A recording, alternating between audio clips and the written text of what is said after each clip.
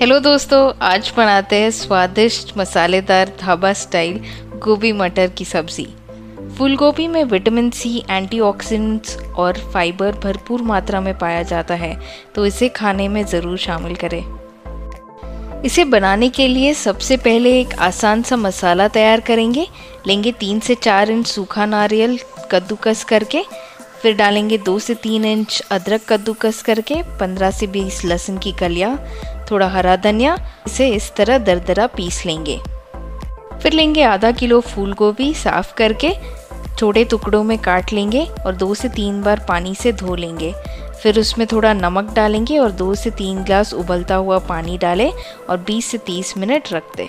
और लेंगे दो मीडियम साइज़ प्याज बारीक काट के, एक से दो मीडियम साइज़ टमाटर बारीक काट के एक से दो मीडियम साइज़ आलू बारीक काट के और 250 ग्राम ताज़ा मटर। तब तक फूल गोभी को गर्म पानी में 30 मिनट भिगोए हुए हो गए हैं और हमें मसाला भी तैयार कर लिया है। तो अब लेंगे एक कढ़ाई, डालेंगे आठ से नौ छोटे चम्मच तेल। तेल गर्म होने पे डालेंगे राई। राई तड़कने पे डालेंगे जीरा और बारीक कटे हुए प्याज।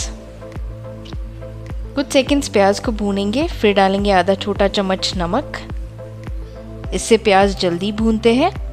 एक मिनट और प्याज को भूनेंगे, फिर डालेंगे दरदरा पिसा हुआ मसाला और प्याज के साथ इसे अच्छी तरीके से भूनेंगे।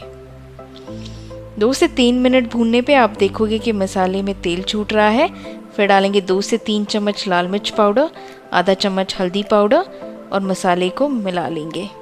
फिर डालें बारीक कटे हुए टमाटर, मसाले के साथ मिला ले और ढक के इसे एक से दो मिनट पकाएँगे। दो मिनट बाद खोले। आप देखोगे टमाटर पक गए हैं।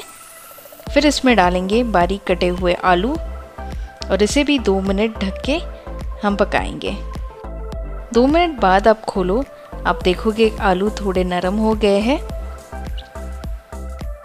फिर इसमें डालेंगे हम ताज़ा हरे मटर, लगभग 250 ग्राम। इन्हें अच्छी तरीके से एक से दो मिनट भूनेंगे। फिर डालेंगे फूल गोभी के छोटे टुकड़े। और अच्छी तरीके से एक से दो मिनट मसाले के साथ भूनेंगे और इसे ढक के एक से दो मिनट पकाएँगे।